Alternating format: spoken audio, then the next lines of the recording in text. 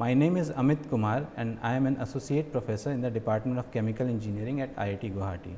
Before joining IIT Guwahati in 2010, I completed my PhD from the University of Delaware in the United States.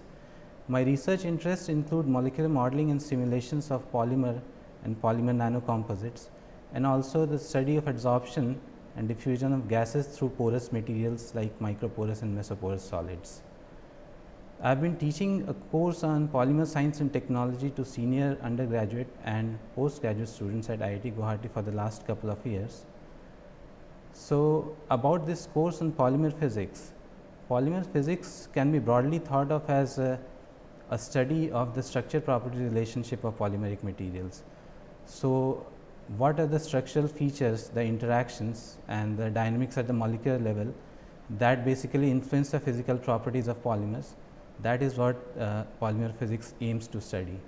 And a knowledge of uh, properties of polymers from the molecular structure is important and can help in and aid in tuning the properties of polymers by modifying the structure.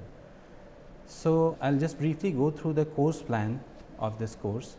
So, we will begin uh, with an introduction to polymers in general and then we will talk about a few models for ideal polymer chains that are commonly that are available.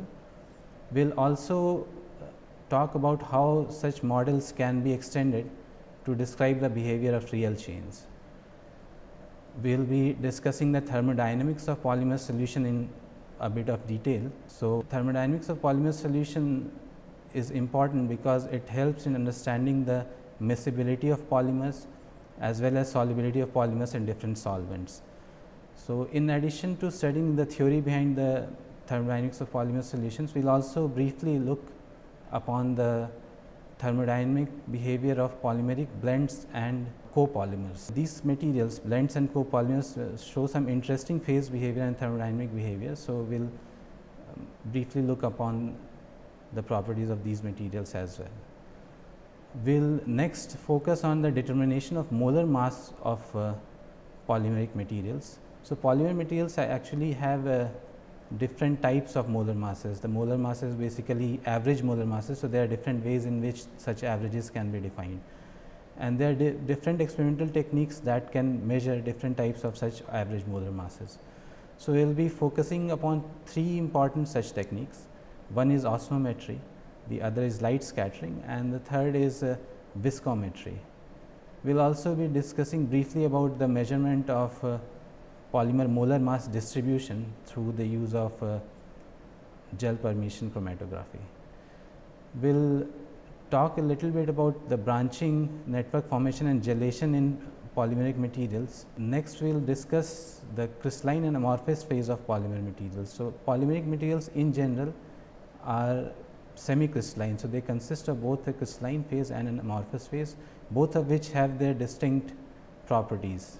So, we will be discussing these phases in a bit of a detail and we will also be talking about the mechanical properties of polymers. In particular, we will be focusing uh, on the viscoelastic behavior of uh, semi-crystalline polymeric materials and also the rubber elasticity of elastomeric materials. Towards the end in this course, we will be focusing a bit upon the dynamics of polymers.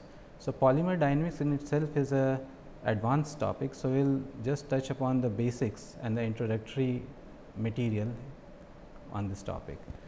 So, we will be discussing the dynamics of polymer solutions in the dilute regime where the polymer molecules are isolated and we will also briefly discuss the dynamics of concentrated solution and melts where the polymer chains actually are entangled with each other. So, with that uh, I hope that this course will serve as a good introduction to the physics of polymers.